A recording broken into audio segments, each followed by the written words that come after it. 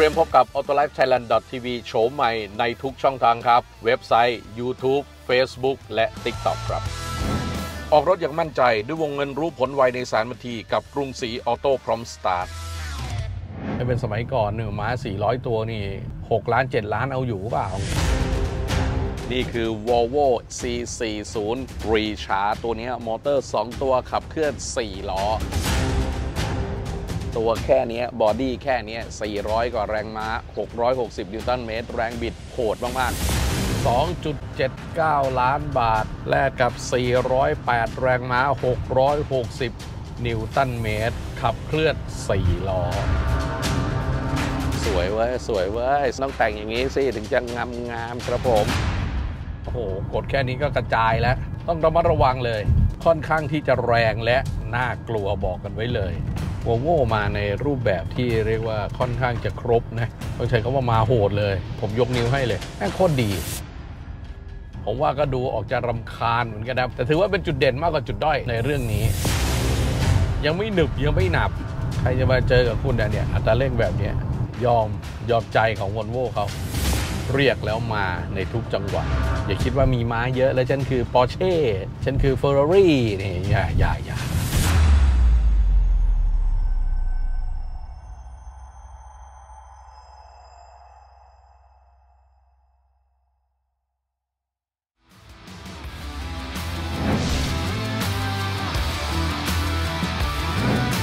นับสนุนโดย เหนือกว่าฟิล์มเซรามิกที่เคยมีต้องฟิล์ม Super Hi-Kool Beyond Ceramic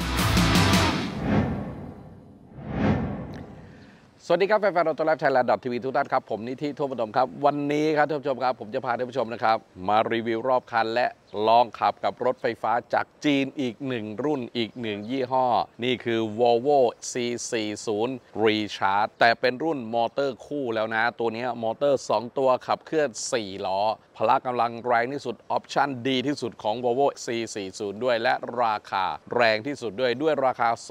2.79 ล้านบาท นี่คือเจ้า Volvo C40 มอเตอร์คู่แล้ว หรือเรียกว่า Dual Motor ตัวนี้น่าสนใจอย่างไรแน่นอนครับพละกำลังมาเต็มๆแล้วนะ และเป็น Model Year ตั้งแต่ปี 2023 นะครับ มีการปรับเปลี่ยนทั้งขนาดแบตเตอรี่ มีการปรับเปลี่ยนทั้งออปชันที่เราจะเห็นดังต่อไปนี้นะครับ โดยแบตเตอรี่นะครับเพิ่มจากเดิมนะครับ78 กิโลวัตต์อาวเป็น 82 กิโลวัตต์อาวแล้วนะเจ้ารุ่นนี้นะครับระยะทางก็เพิ่มขึ้นนะจาก 418 กิโลเมตรต่อการชาร์จไฟ 1 ครั้งเป็น 535 กิโลเมตรต่อการชาร์จไฟ 1 ครั้งนะครับ AC ชาร์จ 11 กิโลวัตต์ DC ชาร์จ 200 กิโลวัตต์นะครับโหถือว่ามาเต็มๆนะตัวนี้ พละกำลังแรงม้ามหาศาลนะครับ 408 แรงม้า 660 นิวตันเมตร นี่โคตรโหดนะครับ ตัวแค่นี้บอดี้แค่นี้ 400 กว่าแรงม้า 660 นิวตันเมตร แรงบิดโหดมากๆ เดี๋ยวเราไปลองขับกัน เดี๋ยวเราจะมาดูรอบคันกันก่อน เราเคยพาแฟนๆ นะครับ มาเจอกับเจ้ามอเตอร์เดี่ยวไปแล้วนะของ 440 ดีไซน์ภายนอกภายในเหมือนกันแตกต่างกันที่ออปชันบางอย่าง อย่างเช่นเจ้าไฟหน้านี้ ตัวนี้เป็นพิกเซลแล้วนะครับ เป็น Pixel LED เคยหายไปช่วงหนึ่งตอนช่วงโควิดนะครับ เพราะตอนนั้นขาดแคลนในเรื่องของวัตถุดิบนะครับแต่ตอนนี้กลับมาแล้ว Pixel LED ราคาก็ 2.69 ล้านบาทนะด้านหน้าปิดตันอยู่แล้วนะครับ กล้อง 360 มีมาให้และโคตรชัด ถือว่าให้มาดีนะ เราจะพาท่านผู้ชมดูคร่าวๆนะครับ เพราะตัวนี้เนี่ยก็บอดี้เดิมอย่างที่เคยบอกนะ 440 ตัวเดิม แต่ว่าตัวนี้มาเป็นตัวท็อปมาเป็นรุ่นที่ดีที่สุดของเขาไฟหน้าเปิดปิดอัตโนมัติ เปิดปิดไฟสูงอัตโนมัติ ปรับระดับสูงต่ำอัตโนมัติ และปรับองศาของมุมไฟหน้าอัตโนมัติด้วยโห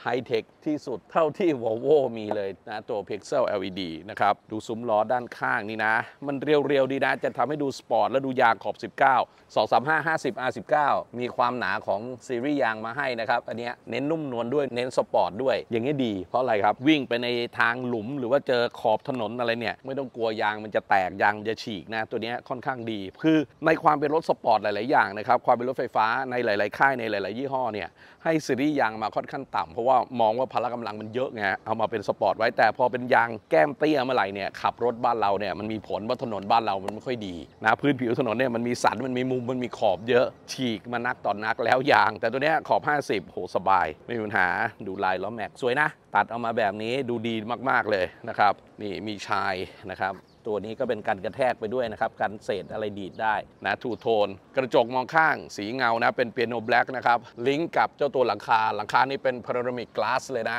ใหญ่มาขนาดนี้ และไม่มีม่านไฟฟ้าปิดมาด้วยนี่คืออีกหนึ่งจุดที่ผมมองว่าไม่น่ารักว่ะ คือผมเป็นคนไม่ชอบหลังคากระจกอยู่แล้วนะ หลังคากระจกเนี่ยก็โอเคให้มาทันสมัยดีรู้สึกดี แต่มันต้องมีม่านไฟฟ้ามาให้ด้วย เพื่อที่จะกรองความร้อนอีกระดับหนึ่งเป็นตัวกันความร้อนอีกระดับหนึ่งเนี่ยเดี๋ยวพรุ่งนี้กลางวันกลางวันเต็มๆจะขับให้ดูว่าไหวหรือเปล่า แต่เท่าที่ขับมาต้องใส่หมวกขับอะรถพวกนี้นะ มันร้อนนะครับนะนี่มามีบลายสปอตมาให้กล้องรอบคัน ระบบความปลอดภัยไฮเทคยอมรับว่าให้มันดีมาก ๆ มือจับของเจ้า Volvo 440 เนี่ยไม่ได้ราบไปกับตัวบอดี้รถนะ ไม่เหมือนกับรถไฟฟ้าสมัยใหม่ ๆ นี่เขาราบไปกับตัวรถแล้วแต่นี้ยยังคงความเป็นดีไซน์เหมือนรถยนต์ทั่วไปอยู่อันนี้ก็ดีไม่ได้มีปัญหาเลยจะราบหรือจะโป่งออกมาแบบนี้เป็นมือจับแบบเดิมไม่มีปัญหา แต่ มันเป็นแบบ digital key ล็อกหมดแล้วโอเคมากๆนะครับเนี่ยความเป็น coupe นะหลังคาลาดลงมาสปอยเลอร์ท้ายมาแบบนี้ล้อยางเหมือนกันนะไซส์หน้าไซส์หลังเท่ากันนะครับเป็นดิสเบรก4ล้อให้มา แต่ที่เท่ที่เป็นสไตล์ของเขาคือในเรื่องของไฟท้าย ลากลงมาเป็นตัว L แบบนี้นะเป็น LED ทั้งระบบอยู่แล้วครับสวย สวยเลย คือในความเป็น Volvo A40 เนี่ยยอมรับในเรื่องของดีไซน์ แต่ว่าพื้นที่ของห้องโดยสารมันก็จะเล็กหน่อย มันก็จะแคบๆหน่อย โดยเฉพาะในเรื่องของกระจกบังลมหลังเนี่ยพอมาเป็นสอบแบบนี้นะครับมุมมองของกระจกบังลมหลังเนี่ยผมบอกได้เลยว่าแคบนะไม่ค่อยสะดวกตาเท่าไหร่ ดูแล้วมันไม่ค่อยกว้าง ก็ต้องอาศัยความชำนาญ อาศัยความคุ้นเคย ในเรื่องของการมองแต่ส่วนใหญ่ผมจะไม่ค่อยมองกระจกหลังผมจะมองกระจกข้างมากกว่า ในในเจ้า440 นี้นะครับ ให้เห็นชัดๆ ว่านี่ฉันคือไฟฟ้านะจะรีชาร์จ 440 นี่มันชัดเจนอยู่แล้วนะครับ โอ้ก็ว่ากันไปนะอันเนี้ยงามงามๆงามๆอะแล้วนี่เปิด ไฟฟ้านะครับ พื้นที่เก็บสัมภาระความสูงได้ไม่เยอะ แต่ความลึกได้เพียบนะเนี่ยแขนหนึ่งนะครับในเรื่องของพื้นที่เก็บสัมภาระและทุกอย่างเนี้ยบหมดนะวัสดุที่ใช้ดูเนี้ยบดูไว้ใจได้อะนี่เปิดมานะมี นะครับสายไฟนะครับเอาไว้ชาร์จกับไฟบ้านเรา หรือว่าคุณเอาออกก็เก็บของได้นะ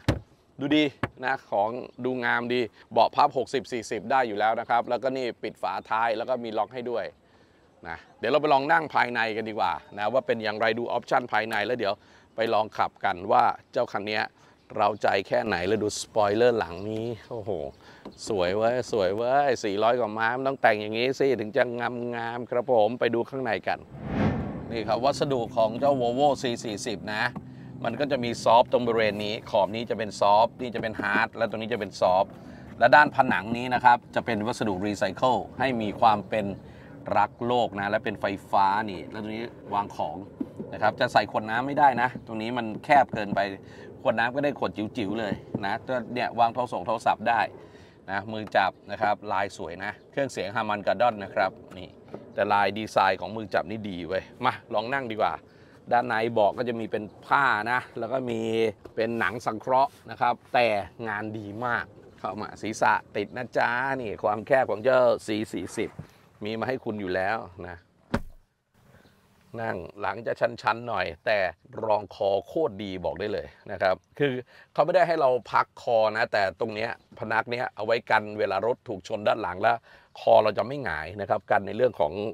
ความเสียหายที่เกิดจากการชนได้ ดีมากอันเนี้ยแหละวางแก้วน้ำสองแก้ว เล็กรูมไม่ได้ใหญ่มาก แต่ก็พอได้ ความอึดอัดน้อยมากนะ คือจะอาจจะอึดอัดเพราะสีของภายในอินเท i รีย ที่เป็นสีดำสีน้ำตาลแบบนี้มันก็เลยจะดูทึมๆหน่อยแต่ว่าเนี่ย กระจกนี่กระจกนี่กระจกใหญ่นะ แต่บานจะไม่ค่อยสูงเท่าไหร่ บานจะเตี้ยๆนิดนึงแต่กว้างนะครับพอมีกว้างแบบนี้ปุ๊บมันก็เลยรู้สึกว่า เออ เวลาเรานั่งแล้ว มองออกไปเนี่ย มุมมองมันดีนั่นเนี่ยเท้าแขนพอดีเป๊ะเลยเฮ้ยโอเค ช่องแอร์นะครับมีแต่ช่องแอร์นะ ไม่มี flow ไม่มีบังคับความแรงได้ ไม่สามารถที่จะปรับอุณหภูมิได้ก็หมายความว่าเจ้าตัวเนี้ยแอร์สองโซนเท่านั้น USB-C 2 จุดนะครับ แล้วให้มาดีด้วยดูดิโอ้วัสดุดีนะครับ แล้วมันเป็นหลุมนะ มันไม่ได้เป็นแฟลตนะ ตัวแพลตฟอร์มยัง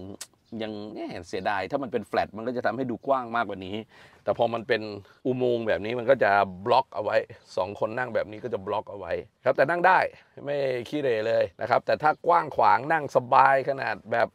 แหมเบ่งซ้ายเบ่งขวาได้หรือเปล่า ไม่ได้ขนาดนั้น แต่ได้แค่เนี้ยมันก็สบายแล้วล่ะนะในกลุ่มรถที่เป็น C40 เนี่ยไม่ได้เน้นผู้โดยสารตอนหลังแต่ผู้โดยสารตอนหลังมานั่งไม่ขี้เหรนะจ๊ะนั่งได้ชอบชอบเว้ยนี่ไฟเฟยมานะ ดิมด้วยนะ นี่โอ้เท่เว้ยโอ้อ่าเห็นไหมให้มาดีมีทั้งซ้ายทั้งขวานะครับ เพราะมันไม่มีตรงกลางอยู่แล้ว มันก็ต้องมีให้ซ้ายขวามาเอาเดี๋ยวไปดูในตำแหน่งของผู้ขับดูหน้าจงหน้าจอดูซิว่าเป็นอย่างไรครับผม นี่ครับก้าวเข้ามาในตำแหน่งของผู้ขับนะในเจ้า C40 นะครับ Dual Motor นะของ Volvo ก็บอกว่าความรู้สึกก็คือจะสปอร์ตสปอร์ตหน่อยนะจะมีความรู้สึกว่าดูแบบกระชับกระชับ ดูเรียบหรูเนียนนะ และตัวนี้แดชบอร์ดตรงนี้นะครับ พอเวลากลางคืนเนี่ย ตรงนี้จะกลายเป็น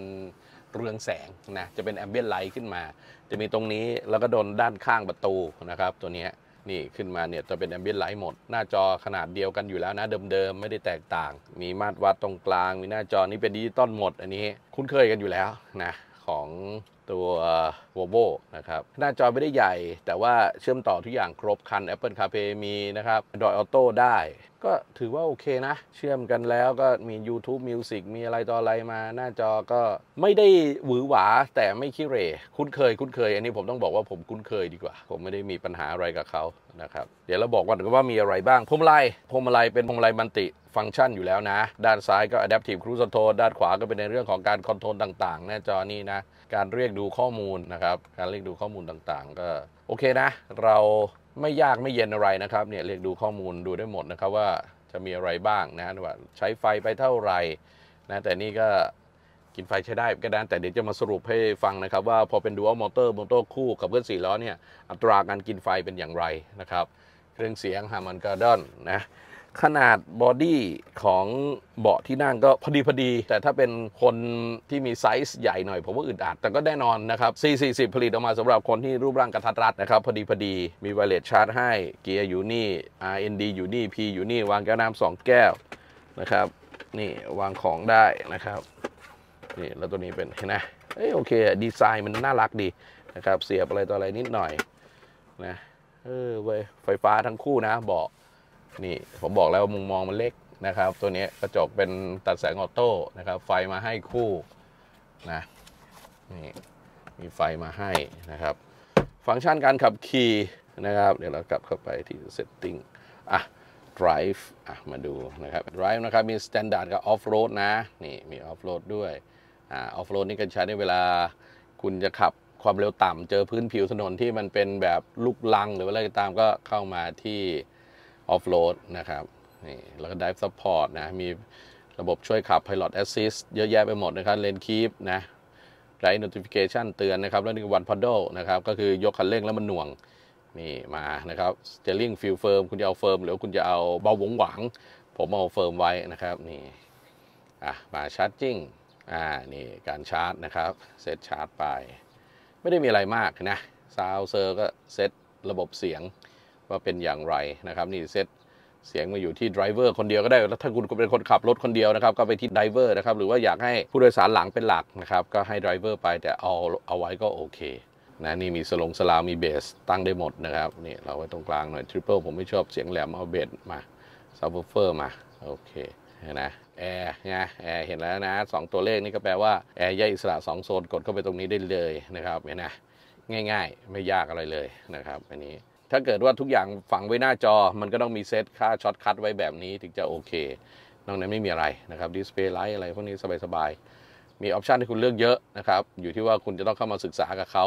แต่บอกได้เลยว่าครบครบนะครับนี่กระจกมองข้างปรับลงเปล่า เวลาคุณถอยหลังก็เซตได้ ผมว่าไม่ให้ปรับอยู่แล้วเพราะมันโอ้โหแย่นะครับและนี่ fold mirror ก็คือเวลาคุณล็อกรถกระจกพับนี่อันนี้ควรตั้งไว้เพราะว่าจะทำให้เรารู้ว่าเราล็อกรถหรือไม่ล็อกรถ ง่ายๆครับกับเจ้าตัวนี้เดี๋ยวไปลองขับกันนะครับท่านผู้ชมครับ แล้วก็มาสรุปดูซิว่าเจ้า Dual Motor ตัวนี้เนี่ยเป็นอย่างไรแล้วน่าใช้เปล่า2ล้าน6คลิปนี้ขอเจอกับเจ้า Dual Motor กับ C40 ของ Volvo ตัวนี้ครับ สนุกแค่ไหนเดี๋ยวรู้กัน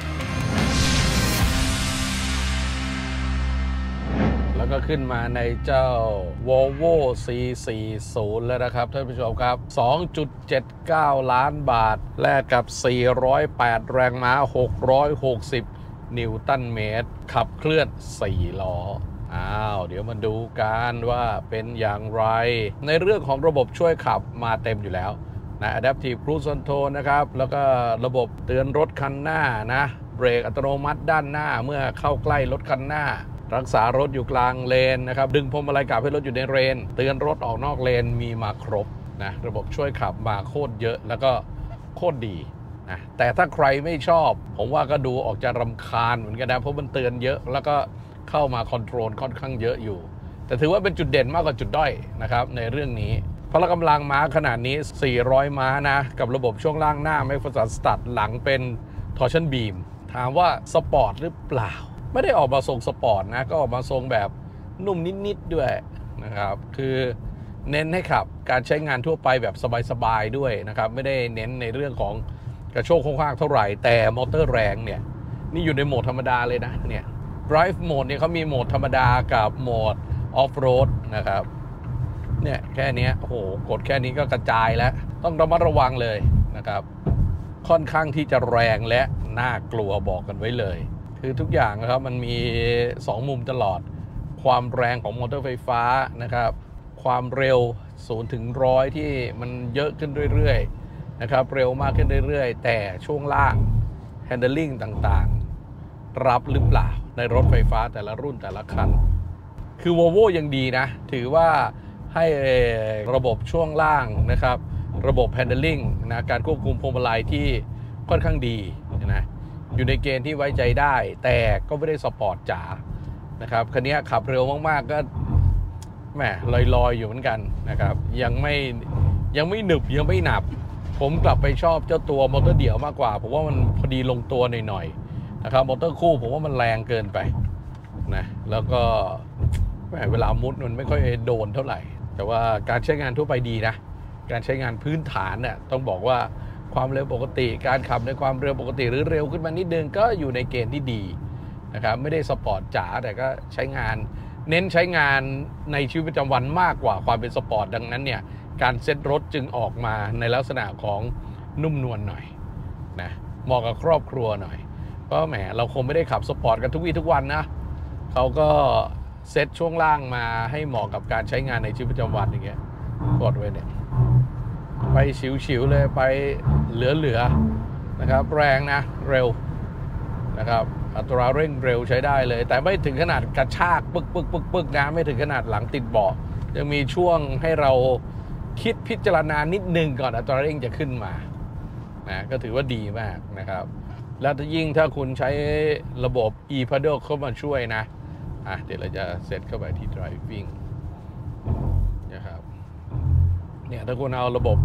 ถ้านี่เรียกว่า one pedal เข้ามาช่วยนะครับ เป็นออโต้เนี่ยนะครับ แต่ไปเวลายก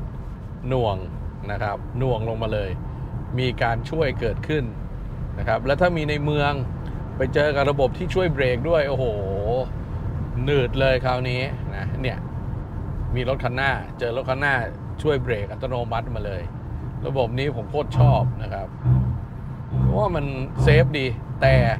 ก็ต้องรู้จักเขาหน่อยนะครับไม่งั้นคุณก็จะหัวปักหัวปักอยู่ตลอดเวลาเหมือนกันนะครับ ถ้าไม่ชอบนะครับก็ไปอยู่ในโหมดการขับ one pedal ที่เอาออฟเลยนะครับถ้าไม่ต้องการให้หัวปักๆแบบนี้ก็ปิด one pedal ไปเลยเป็นออฟมันก็จะไหลๆเนี่ยไหลไปเลยนะแล้วเมื่อไปเจอรถคันหน้าก็จะไม่ได้หน่วงให้ด้วยเห็นนะเนี่ยไม่หน่วงให้เลยนะเนี่ยต้องเบรกเอง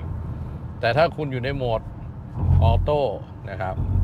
ตัวมอเตอร์ช่วยหน่วงด้วยนะครับ แล้วก็มีในเรื่องของระบบช่วยเบรกด้วยนะเนี่ยสองจังหวะเลยช่วยเบรกด้วยนะครับมอเตอร์ช่วยด้วยนะอันนี้ก็การใช้งานนะครับแยกออกจากกันให้ดีเนี่ยมอเตอร์ช่วยนะมอเตอร์ช่วยนะเดี๋ยวรถคันหน้าเบรกอะเดี๋ยวเราไปใกล้ ๆเลยเนี่ยมอเตอร์ช่วยหน่วง มีระบบช่วยเบรกด้วยเห็นนะสองอย่างเลย นะครับ แต่ถ้าไม่มีล่ะอะเป็น off นะอะปล่อยไหลไหลไหลนี่จะไปชนตูดอยู่แล้วนะเห็นนะคือไอ้ตัวนี้ผมชอบมากที่เป็นออโต้เนี่ยมันจะมีช่วยเบรกให้เราด้วยนะครับ มีเซ็นเซอร์ช่วยด้วยนะเนี่ยมอเตอร์หน่วงแล้วเจอช่วยเบรกด้วยนะแต่คุณต้องคุ้นเคยค่อยเลยนะถ้าไม่คุ้นเคยเนี่ยเวียนหัวเหมือนกันนะเนี่ยอย่างเงี้ยมันจะมันจะดึงอยู่ตลอดเวลาเพราะเราขับอยู่คันหน้าไง การจราจรรถมันเยอะนะครับ มันมีรถคันหน้าอยู่หน้าเราเยอะ เดี๋ยวเจอก็เบรกเดี๋ยวเจอก็เบรกอยู่นะครับเนี่ยนะดวงดีดวงดีชอบนะครับ ระบบช่วยเยอะมากนะครับ นี่ระบบช่วยเยอะมาก ซึ่งก็แล้วแต่ว่าใครจะชอบหรือไม่ชอบนะครับ ซึ่งมีดีกว่าไม่มีอะในราคา 279 นี่ผมก็ว่าเขาให้ระบบช่วยขับขี่มาเยอะที่สุดละนะครับ วอลโวมาในรูปแบบที่เรียกว่าค่อนข้างจะครบนะในวันนี้นะครับแล้วก็ไว้ใจได้ในเรื่องของช่วงล่าง ถ้าเป็นการใช้งานในแบบชีวิตประจำวันทั่วไปนี่พอเพียงเลยนะครับเนี่ยผมก็ใช้อยู่วัน 2 วัน 3 วันนี่ก็โอเคนะครับ แต่ตัวนี้กินไฟใช้ได้นะ 19.2 กิโลวัตต์อาวต่อ 100 กิโลโอ้เอาเรื่อง แต่ก็อย่าลืมครับมอเตอร์คู่นะ รถที่ใช้อยู่ก็อยู่ที่ประมาณ ถ้ารถไฟฟ้ามอเตอร์เดี่ยวนะครับ ก็อยู่ที่ประมาณ 12 ถึง 14 กิโลวัตต์อาวนะครับ ต่อ 100 กิโล นี่เป็น 19 ก็กินพอสมควรครับ ขับโหดๆก็แป๊บเดียวนะ แต่ถ้าขับเรื่อยๆ ก็พอได้อยู่ เพราะแบตเขาก็มีขนาดใหญ่นะ 82 กิโลวัตต์นะครับเนี่ยแต่โหกดแล้วเป็นโอ้มาโหดเลยอะ่ะ ต้องใช้คำว่ามาโหดเลยนะใช้งานดีเนียนเงียบนะครับหน้าจอเล็กไปหน่อยเมื่อเทียบกับตอนนี้รถจีนมามันหน้าจอใหญ่หมดนะครับแต่นี้ก็เล็กแต่ครบนะก็ไม่มีปัญหาอะไรครบครันนะครับเชื่อมต่อ Apple CarPlay ได้ Android Auto ได้ก็โอเค คุณจะดู Google Map ก็สบายๆนะครับ ฟังนี่ YouTube Music ก็ฟังสบายๆไปได้หมดอะผมว่ามันลงตัวดี แล้วก็พวก Adaptive Cruise Control อะไรพวกนี้เซ็ตง่ายนะครับ กด 2 ปุ่มทุกอย่างทำงานแล้วนะนี่นะครับนี่ทำงานแล้วนะ Adaptive ทำงานแล้ว และ Adaptive Cruise Control ของ Volvo เนี่ยผมยกนิ้วให้เลยแม่งโคตรดีนะครับเนี่ยมีมอทรงมอไซค์กันหมดนะครับเซ็นเซอร์จับหมดเนี่ยดีดีมากต้องใช้คำว่าดีมากไม่ใช่ดีธรรมดานะครับดีมากเนี่ยยอมยอมใจของวอลโว่เขาเนี่ยไม่ได้เรื่อยๆ สบายเลยนะเดี๋ยวเราไป ลองในความเร็วสูงกันนิดนึงนะครับ ว่า feeling ช่วงล่างเป็นอย่างไร เพราะว่าไม่ได้เซตช่วงล่างมันเป็นแบบสปอร์ตอย่างที่เรียนให้ทราบเซตช่วงล่างมาพอดีพอดีนะครับเน้นใช้งานในเมืองเป็นหลักมากกว่า แต่ในเรื่องของเชสซีเป็นเชสซีสปอร์ตแต่ช่วงล่างธรรมดา แต่ก็เอาอยู่ไหมเดี๋ยวเดี๋ยวไปดูนะครับ ก็จะลองช่วงสั้น ๆ ให้แฟนๆเห็นดูนะครับว่าความเร็ว สูงๆ แล้ว handling เป็นอย่างไรช่วงล่างกรับเป็นอย่างไร จะได้รู้กันไว้รู้กันไว้หน่อย ความสูงของตัวรถตัว body รถก็ไม่ได้ใหญ่มากมายก็เกาะถนนดีอยู่แล้วล่ะ 2.79 นะ ราคาก็หายใจลึกๆนะ แต่มอเตอร์คู่ไง คุณได้ม้า 400กว่าตัว ในราคา2ล้าน7ดูง่ายไม่ได้ ถ้าถามในเรื่องของจำนวนม้ามันก็ไม่ได้ขี้เหร่อะไรนะครับถ้าเป็นสมัยก่อนหนึ่งม้า 400 ตัวนี่6ล้าน 7 ล้านเอาอยู่เปล่านะครับราคาค่าตัวรถนะเดี๋ยวนี้รถไฟฟ้าก็มาแบบนี้กัน ดูดุโหดๆนะเนี่ย มันออกตัวดีนะ ดันเอาไว้นี่แป๊บเดียวนะครับอยู่ที่คุณแหละว่าคุ้นเคยกับอัตราเร่งในแบบนี้หรือเปล่า คุ้นเคยกับการควบคุมรถในความเร็วออกตัว ในความเร็วตีนต้นได้ดีแค่ไหนเนี่ยเราแซงได้ทุกคันแหละนะครับในการออกตัวไฟฟ้าต่อไฟฟ้ามันต้องไปเจอกับไฟฟ้าด้วยกันเนี่ยใครจะมาเจอกับคุณเนี่ยอัตราเร่งแบบเนี้ยนะครับนะ แต่มันไม่ได้แบบกระชากนะ ไม่ได้ปูดปาดนะเนี่ยก็ไปแบบนี้สวยๆนะครับเนี่ยมัน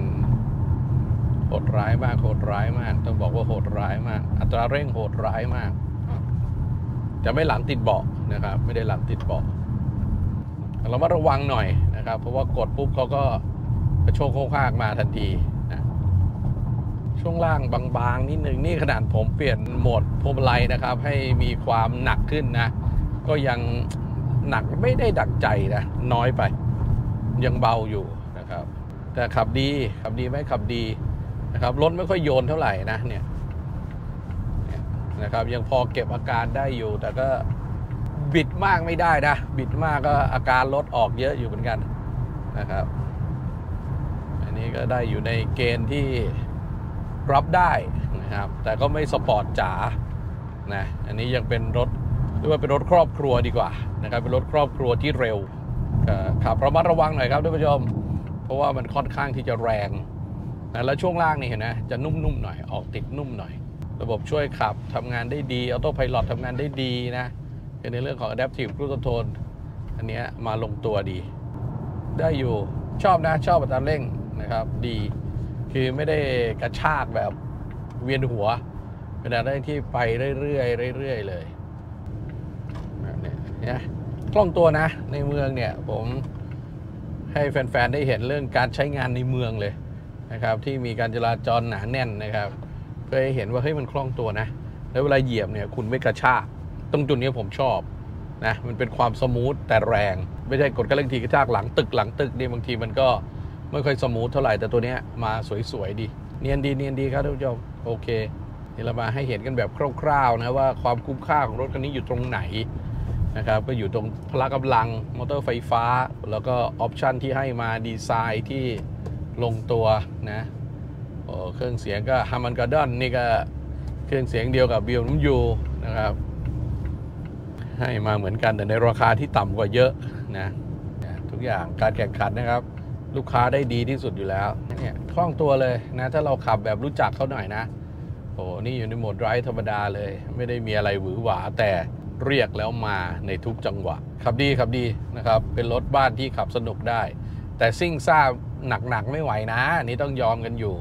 นะซิ่งซ่าหนักๆก็ต้องยอมกันอยู่นะว่าเออต้องรู้จักลิมิตของรถไม่ใช่ว่าแบบแหมเห็นม้าเยอะหน่อยก็จะกดขาดขาดมันไม่ใช่นะครับ คือช่วงล่างไม่ได้ถูกเซตมาถึงขนาดนั้น ไม่ได้เป็นสปอร์ตจ๋าขนาดนั้นก็เป็นแค่กึ่งสปอร์ตหน่อยๆเพื่อจะรับระดับหนึ่งในความแรงความเร็ว นะครับแต่ยังไม่ได้รับถึงขนาดขีดสุดของเขาที่ 400 กว่าแรงม้านะครับใช้งานได้ใช้งานได้รู้จักรถนะครับสบายนะก็จะปลอดภัยนะครับ คือไม่ได้หมายความว่าคุณขับรถ 400 ม้าแล้วรถคันนี้มันคือรถซุปเปอร์คาร์เลยไม่ใช่ ก็คือเป็นรถบ้านคันหนึ่งนั่นแหละ ที่ขับเร็วได้อัตราเร่งดีนะครับ ให้คิดเสมอว่านี่คือรถบ้านธรรมดานะครับ ไม่ใช่รถสปอร์ตนะอย่าคิดว่ามีม้าเยอะแล้วฉันคือปอร์เช่ นี่ฉันคือเฟอร์รารี่นี่อย่าอย่าอย่าก็คือรถวอลโวบ้านคันหนึ่งนั่นแหละ เพียงแต่เวลากดแล้วเออเขามาเขามีอัตราการตอบสนองของคันเร่งที่ดีนะครับ อัตราการตอบสนองของอัตราเร่งที่ดีมากนะแค่นั้นครับ แต่ช่วงลงช่วงล่างก็ยังเป็นรถทั่วไปอยู่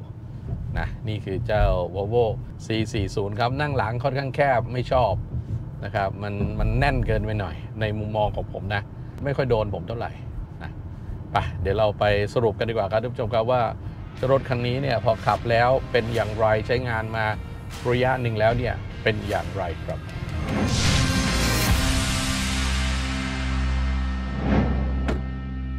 แล้วก็เรียบร้อยครับท่านผู้ชมครับ กับการลองขับเจ้า Volvo C40 Recharge ที่เป็น Dual Motor หรือมอเตอร์คู่ ราคาค่าตัวอยู่ที่ 2.79 ล้านบาท แลกกับพละกำลังแรงม้า 408 แรงม้า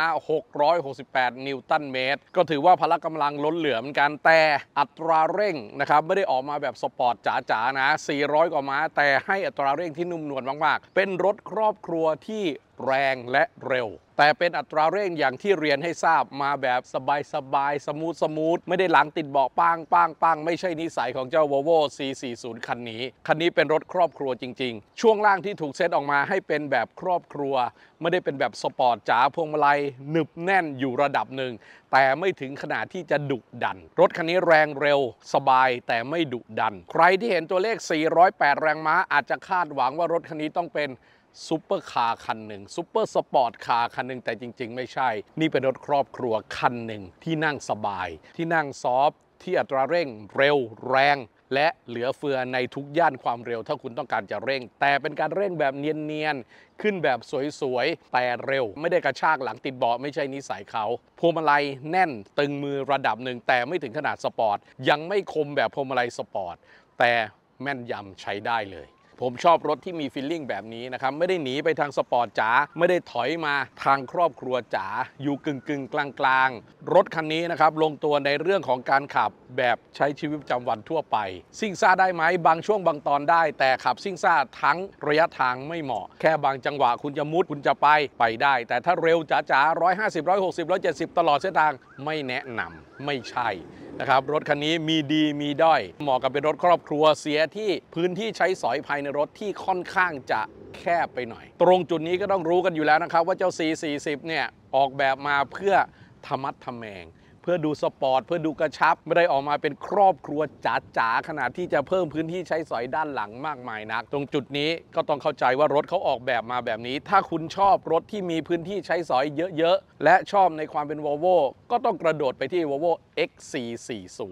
ตรงจุดนั้นจะตอบโจทย์ในเรื่องของการใช้สอยในเรื่องของพื้นที่ภายในห้องโดยสารได้ดีกว่านี้นะครับแล้วถ้ามองในเรื่องของออปชันถ้ามองในเรื่องของสิ่งอำนวยความสะดวกภายในรถล่ะก็ให้มาดี ติดแต่เพียงแค่ว่าไม่มีแอร์ช่วงหลัง ไม่มีแอร์3โซน ตรงจุดนั้นนะผมอยากเห็นแอร์3โซนมากกว่า เพราะเจ้ารถคันนี้หลังคา panoramic sunroof นะครับเป็นหลังคากระจก และไม่มีม่านมาบังให้คุณด้วย ดังนั้นเนี่ยผู้โดยสารตอนหลังจะประสบปัญหาในเรื่องความร้อน ผมขับรถที่มี panoramic sunroof หลังคากระจกเนี่ยผมจะใส่หมวกอยู่ตลอดเวลาเพราะผมไม่ชอบ มันจ้ามันฟุ้ง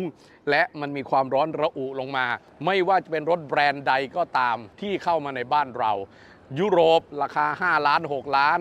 จีน ราคาล้าน5ล้าน6วอลโวก็มาจากจีน แต่เป็นสายพันธุ์ยุโรป ราคา 2 ล้าน5ร้อนทุกคัน ในมุมมองของผมนะ ถ้าคุณไม่มีม่านไฟฟ้า ถ้าคุณไม่มีม่านบังแดดมาช่วยกระจกตัวนี้แล้วแล้วก็โห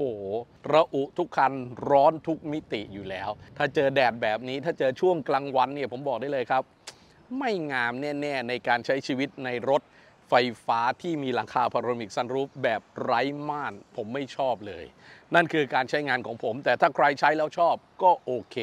ก็ถือว่าเหมาะสมกับเทคโนโลยีในวันนี้ ถามผมว่าชอบหรือไม่ชอบกับรถคันนี้ ชอบในความเป็นรถครอบครัว ชอบในความเป็นสปอร์ตนะ เห็นเล็กๆ แบบนี้ ในหลายๆคนอาจจะบอกว่าไม่ตอบโจทย์แต่สำหรับผม ผมชอบเพราะผมไม่ได้มีสัมภาระอะไรเยอะแยะ ผมชอบรถที่มีความคล่องตัวแบบนี้มุดซ้ายมุดขวาอย่างที่เราขับให้แฟนๆได้เห็นว่าเป็นอย่างไรใช้งานได้ดี ไม่ต้องออกสปอร์ตจ๋าออกมาในแบบครอบครัว เพราะเราใช้งานในแบบครอบครัวเป็นหลักอยู่แล้ว 80-90%ของการขับรถ feeling ในแบบครอบครัวความเร็วที่ใช้เป็นแบบครอบครัว เป็นแบบการใช้งานในชีวิตประจำวันทั่วไป อัตราเร่งดี ระยะทางในการใช้งานล่ะ 500 กว่ากิโลตามสเปคของเขาใช้งานก็ได้ประมาณนั้น แต่เขาค่อนข้างกินไฟนะ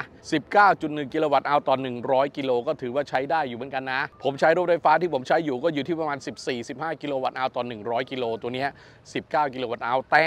400 ม้า มอเตอร์ไฟฟ้าคู่ก็ต้องให้เขาเหมือนกัน เขาก็มีอัตราการใช้ไฟอัตราการสิ้นเปลืองในแบบของเขาเหมือนกัน ถามว่ากินไฟแล้วมันกินมากกว่าความจำเป็นหรือเปล่า ไม่ใช่ เขาก็กินอยู่ในระดับปกติ การจัดการไฟ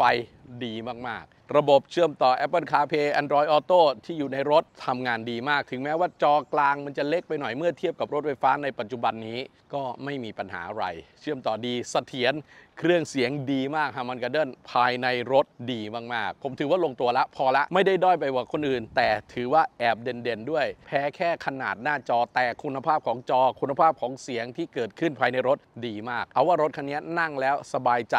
เฉพาะกลางคืนนะ ที่มันไม่ร้อน แต่ถ้าเจอแดดแบบนี้ความสุขหายไปครึ่งหนึ่งเลย ในมุมมองของผมนะครับ รถคันนี้น่าใช้หรือไม่น่าใช้ กล้องรอบคันแบบนี้ Adaptive Cruise Control แบบนี้ ภายในแบบนี้ดีไซน์แบบนี้ น่าใช้กับราคาค่าตัวที่ 2.79 ล้านบาท ถ้าคุณไม่ชอบแบบ coupe แบบนี้ XC40 2.69 ล้านบาท กับแรงม้าเดียวกัน ช่วงล่างเดียวกัน ภายในเดียวกัน save ไป 1 0 0 0 0 บาทกับบอดี้ที่ต่างกัน แล้วแต่แฟนๆว่าชอบหรือไม่ชอบแต่ผม ชอบในเจ้า Volvo C40 คันนี้ แก้ไขแค่หลังคาแค่นั้นแหละ ที่มันร้อนเกินไปนอกนั้นลงตัว ไม่ต้องซ่ามาก ไม่ต้องซิ่งมากขับชิลๆวิ่งไกลๆ สบายๆ ครับ นี่คือตัวไลฟ์ไทยและดัตทีวีกับ Volvo C40 คันนี้ 2.79 ล้านบาทใช้ได้เลย โชคดีที่นำเข้ามาจากจีนครับ ภาษี 0%ทำให้คุณได้ราคานี้กับรถที่มีสมรรถนะแบบนี้ดีไซน์แบบนี้คุณภาพของภายในแบบนี้ครับท่านผู้ชมมีความคิดเห็นอย่างไรกับเจ้า Volvo C40 คันนี้ชอบหรือไม่ชอบใช่หรือไม่ใช่แสดงความคิดเห็นมาได้นะครับ แล้วเรามาแลกเปลี่ยนความคิดเห็นซึ่งกันและกันครับ วันนี้ต้องขอตัวไปแต่วันนี้ครับขอขอบคุณทุกท่านที่สละเวลาในการรับชมครับ ขอบคุณครับ สวัสดีครับ